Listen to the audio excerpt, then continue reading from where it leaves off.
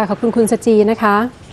นอกจากที่ปราจีนบุรีเกี่ยวกับนิคมอุตสาหกรรมแล้วนะคะขณะนี้ผู้ประกอบการในนิคมอุตสาหกรรมจังหวัดพระนครศรีอยุธยาต่างเร่งหาแนวทางป้องกันน้ำท่วมในปีนี้ โดยไม่อยากฝันร้ายซ้ำรอยในปี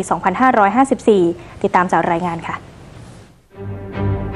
ระดับน้ำสูงกว่า 6 เมตร ท่วมเต็มพื้นที่นิคมสหรัตนนคร เคยเป็นฝันร้ายของบรรดาผู้ประกอบการเกือบ 50 รายในพื้นที่นิคม รวมทั้งชุมชนโดยรอบกว่า 2,000 ครัวเรือน แม้จะผ่านมาแล้ว 2 ปี แต่ปีนี้ภาพความทรงจำเก่าๆ เริ่มรื้อฟื้นอีกครั้ง เพราะความล่าช้าในการก่อสร้างคันกั้นน้ำคอนกรีตแบบถาวร ตามแผนที่จะแล้วเสร็จประมาณเดือนพฤศจิกายน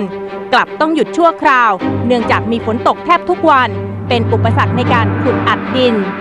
ปัญหาคือเรื่องของการที่จะเข้าสู่การฟื้นฟูกิจการนะครับของภาคเอกชนเนี่ยเขามีการเปลี่ยนผู้บริหารแผน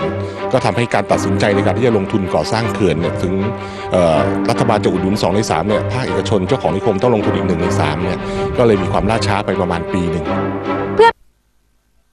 ทำวันรัฐบาลได้วางแนวทางป้องกันน้ำสองขั้น ได้แก่บริเวณรอบชุมชน ระยะทาง 32 กิโลเมตร โดยยกระดับถนนให้สูงขึ้น และป้องกันพื้นที่รอบนิคม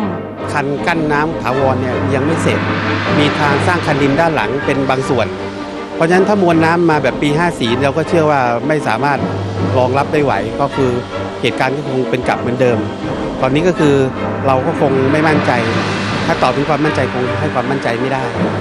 จากน้ำท่วมใหญ่ครั้งก่อนปัจจุบันผู้ประกอบการในนิคมสหรัฐนนครเหลือเพียง 30 ราย ความกังวลขณะนี้ คือไม่สามารถให้คำตอบกับลูกค้าได้ว่า เมื่อเกิดเหตุวิกฤตขึ้น จะสามารถส่งสินค้าหรือผลิตสินค้าได้ตามกำหนดอย่างไร ปีนี้น้ำจะท่วมนิคมหรือไม่ทำได้ดีที่สุดเพียงการวางแผนอพยพให้เร็ว เพื่อเป็นการสร้างความเชื่อมั่นให้นักลงทุน การนิคมอุตสาหกรรมได้กำหนดแผนป้องกันฉุกเฉิน ด้วยการตั้งวอรูมเตือนภัยในพื้นที่ ดูแลสถานการณ์ตลอด 24 ชั่วโมง ติดตั้งสัญญาณและธงเตือนภัย รวมทั้งการวางแผนป้องกันน้ำเข้าพื้นที่นิคม ด้วยขันกั้นน้ำเคลื่อนที่เร็วที่เห็นอยู่นี้นะคะคือคันกั้นน้ำเคลื่อนที่เร็วค่ะ เมื่อระดับน้ำเข้าสู่ภาวะวิกฤตนะคะ ทั้งหมดนี้ก็จะถูกลำเลียงไปวางไว้บนคันดินกั้นน้ำรอบนิคมสหรัตนนคร พื้นที่กว่า 6 กิโลเมตรค่ะ โดยจะเป็นการเพิ่มระดับความสูงของคันดินให้ได้ 7 เมตร 70 เซนติเมตรซึ่งถือว่าสูงกว่าระดับน้ำที่เคยท่วมขังเมื่อปี 2554 ค่ะ นอกจากความช่วยเหลือประชาชนแล้วผลกระทบที่จะเกิดกับภาคอุตสาหกรรมก็ไม่ควรมองข้าม ทุกฝ่ายต้องเร่งสร้างความเชื่อมั่น ไม่เช่นนั้น หากนักลงทุนยังผวากับน้ำท่วมนิคมอุตสาหกรรม ไม่พ้นพากันย้ายฐานการผลิตจากไทย